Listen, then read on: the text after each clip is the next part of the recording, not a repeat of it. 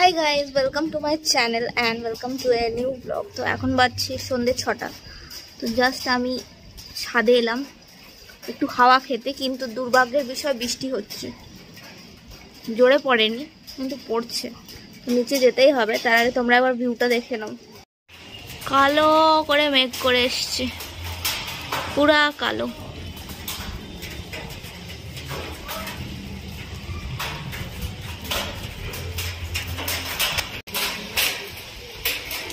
হাওয়া খাব। হাওয়া খাওয়া দূর এবার ভিজতে হবে।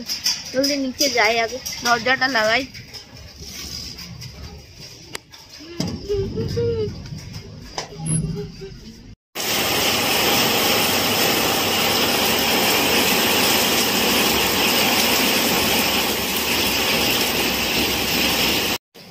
এখন আমি বানাবো কফি, কারণ কফি খেতে খুব ইচ্ছে করছে। কিন্তু বাইরে এত বৃষ্টি পড়ছে যে জানি না আওয়াজটা ঠিকঠাক করে শোনা যাচ্ছে কিনা প্রচণ্ড বৃষ্টি পড়ছে।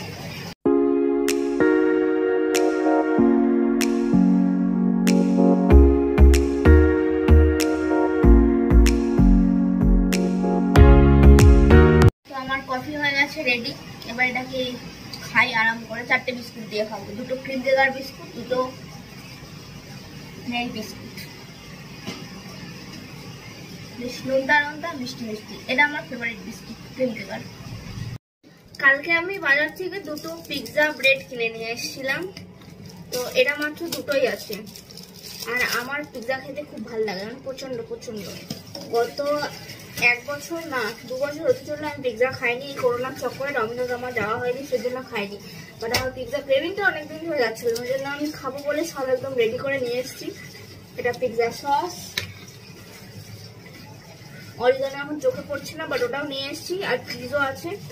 তো এটা হচ্ছে ইস্ট ইস্ট দিয়েও পিৎজা বেসটা বানায় তো ইস্টটাকে কি করে আবার অ্যাক্টিভেট করব? লাইফ আমি ফার্স্ট টাইম ইস্ট ইউজ করছি। তো দেখেছি যে একটু হালকা গরম জলে এক চামচ ইস্ট আর এক চামচ চিনি দিয়ে ওটাকে কিছুক্ষণের জন্য ঢেকে রেখে দেয় তো ওটা করে দেখি যে ঠিকঠাক হচ্ছে কিনা। তো চলো ওটাই করা যাক। প্রচণ্ড বিচ্ছিরি গন্ধ, জানি না এরকম গন্ধ হয় কিনা। ইস্টটাতে এত বিচ্ছিরি গন্ধ ছিল যে কিছু জীবজন্তু মানে মরে যদি পচে যায় সেরকম গন্ধ, ওরকম মানে অসম্ভব বিচ্ছিরি গন্ধ ছিল। আর জীবনে আমি ইস দিয়ে কোনো কাজ করব না। মাকে জিজ্ঞেস করছি দাঁড়া মা ছিল তখন রান্না করেছি, কীরকম গন্ধ ছিল? এবার বলে দাও তো গন্ধটা কীরকম ছিল। এত দুর্গন্ধ। হ্যাঁ ওটাকে যদি আমি অ্যাক্টিভেট করতে যেতাম মানে চিনি দিয়ে ওই গরম জলে ও অ্যাক্টিভেট করতে করতে আমি ডিঅ্যাক্টিভেট হয়ে যেতাম। অদ্ভুত গন্ধ ভীষণ পচা মানে তাহলে পিৎজা ইয়ে ব্রেডটা নষ্ট হয়ে যেত। হ্যাঁ মানে না পিৎজা ব্রেডে ওটা দেয় না। ওটা দিয়ে আটাটা মাখতে হতো ওটা ফুলতো। মানে আমার ভেতর থেকে বমি পাচ্ছে এত বিচ্ছিরি ছিল একজন আমাকে বলছিল যে ইস্টের গন্ধটা কীরকম ছিল আমি এখনও ফেলিনি। কৌটোটা এই যে এইদিকে রেখেছি এটা ফেলার জন্য। আর এখন শোঙাবোই শোঙাবো যে কেমন ছিল গন্ধ। একবার দেখ শুধু একবার না। শুনতে তো হবে, এই যে ঢাকনা খোলা হচ্ছে জিনিসের এটা মনে হয় পচে গেছে। একটু একটু একটু শুনুন।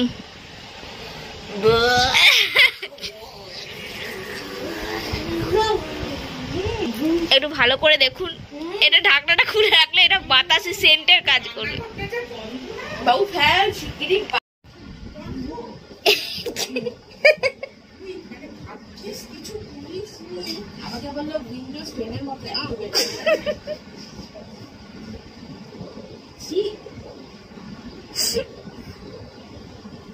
যোগাযন্ত্র করার আগে আমি আগে এগুলো কেটে কেটে নিই তারপরে পুরোটাকে সাজাবো।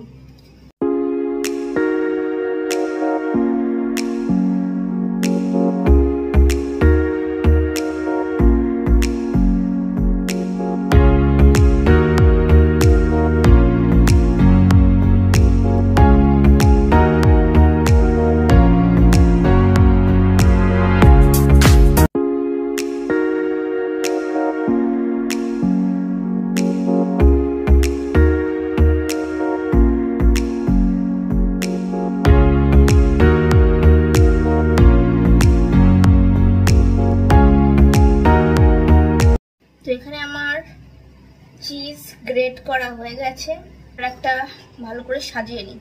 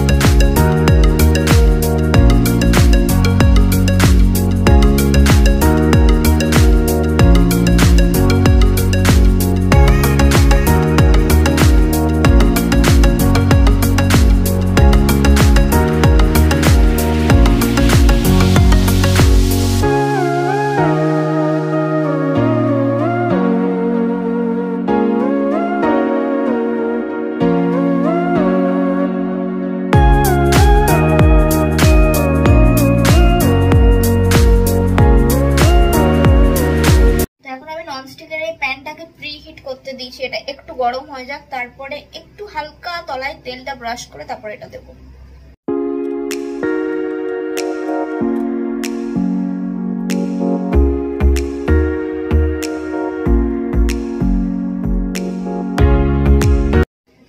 পিৎজাটা তো হয়ে গেছে, দাঁড়াও দেখাচ্ছি। বাট পিৎজা কাটার তো নেই, সেই কারণে এটাকে এখন খুঁজে দিয়েই কাটবো। তারপরে খাব।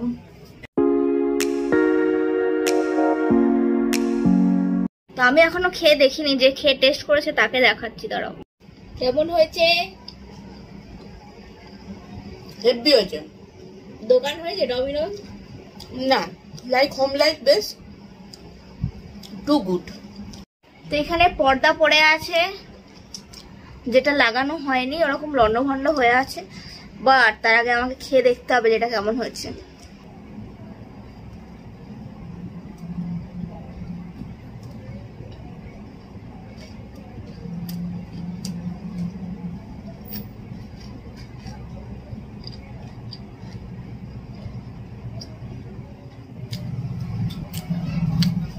মনটা আমার খুশি হয়ে গেল।